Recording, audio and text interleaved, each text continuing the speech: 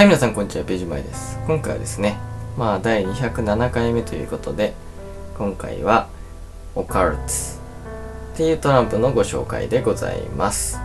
見えないわ。よいしょ。まあ、オカルトでなんかフードかぶってそうなイメージが勝手にあったんでね。はい。まあ、こんな感じ、オカルト。こんな感じのトランプでございます。それでは、Here we go. はい、では近くでご覧あれ。はい。オカルト。オカルト。はい、 Playing Cards って書いてありますね。で、ここが遊戯王チックな感じですね。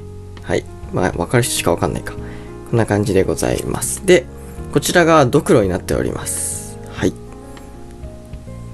こんな感じですね。はい。で、多分 KYC だった気がするけど、書いてあるかな。最近ピントが合ってくれないんです、この子。逆だったしね。書いてないね、KYC とかは。はい。まあ、だいたい今の KYC かなっていう勝手な既成概念が生まれつつある現代である。はい。こんな感じでございます。では、オープン。ほんとピントずれすぎね、あなた。はい。ここにもね、オカルトって書いてあります。まあ、シールにも書いてあるっていうね。どんだけオカルトまみれだよ。はい。で、まず、こういう風にね、ダブルバック入っておりまして、で、これはまあ、普通にね、ギャフカードですね。まあ、スペードのクイーンとダイヤのキングは合体しております。こんな感じです。はい。で、これは、このデックはですね、結構特徴的なデックでして、まあ、表も裏もなんですけれども、まあ、表がこんな感じでね、これパッと見なんかの野菜の種みたいな感じに見えますけどね。まあ、ダイヤの8、こんな感じです。で、エースが大きい感じですね、マークが。で、キングはこんな感じ。ウィーン。はい。で、10。種がで、なんか多くなってるみたいな感じになってますけどね。はい。で、クラブのジャックはこんな感じ。マッチとあとなぜかね、釘バットを持っているという恐ろしい。はい。こんな感じですね。はい。種がいっぱいある。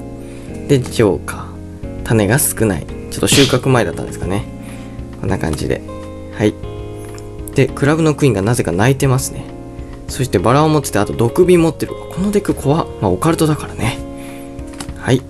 こんな感じでございます。はい。はい。まあ、これが普通ですね。なんか剣を持ってて。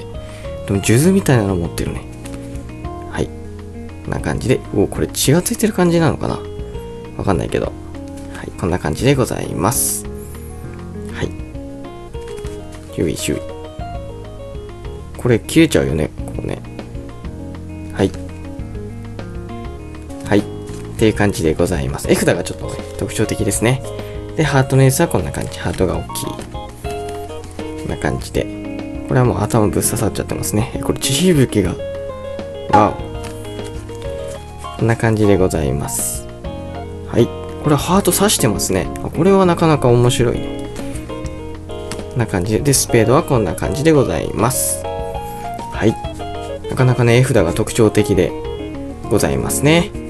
んな感じでございます。で、ジョーカー。ジョーカーは、はい、武藤遊戯2人っていう感じでございます。はい。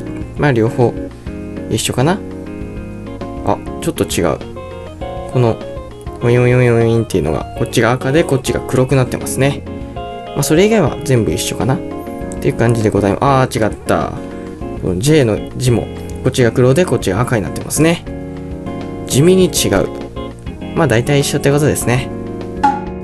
はい、では裏側でございます。はい、裏側こんな感じでね、なかなか特徴的な感じですね。そして縁がないのでね、まあ、この感じからするとマジックには向かないですね。目立つっていう感じ。はい。で、あと、まあ、サイドまでやってるからね、結構、見えますかね結構ボロボロになってきちゃうんですよね。こんな感じでね。まあ、黒目のやつだったりとかね、こういう風なやつは結構ボロボロな感じになるのが目立ちますね。これは結構開けたて、じゃあ開けたてなんですけどね。もう結構ボロボロな感じで。まあ、これはデザインだと思うんですけど、まあ、こういうサイドのこういうところとかはね、傷ついちゃったりするデックです。はい。こんな感じのデザインでございます。まあよくわかりませんな。はい、ということで、このトランプの質なんですけれども、なんか、すごくいいんですよね。なんか硬さもちょうどいいし、ちょっと滑りもね、今のところちょうどよくって、フラッシュにもやりやすいし、あとはですね、よいしまあ、こういう柄なのでね、ディスプレイ系とか、あとファン系にでもですね、全部映えるトランプだと思います。まあ、ちょっと高めだった気がするんですけれども、まあ、最近のね、とか全然できない。最近のトランプにしては、最近のトランプかわかんないけれども、最近買った中ではね、結構いい質の取れなかったトランプだと思います。まあ、あと絵札が面白いですよね。チュイン、ぐる。はい。開けたてだけど、やりやすい。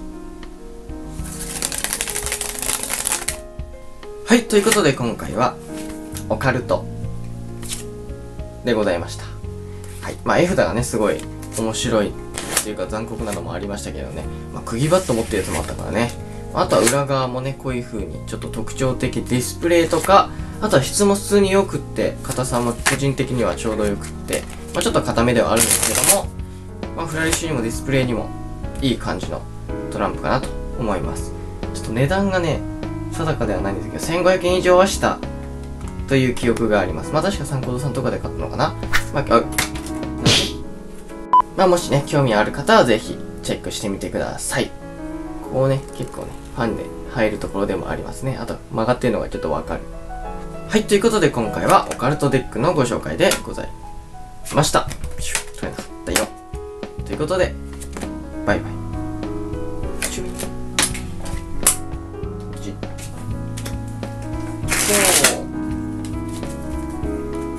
ちょっと待って 滑る滑るえいつシュイーン貫通したぞ。バイバイ。バイバイ。バイバイ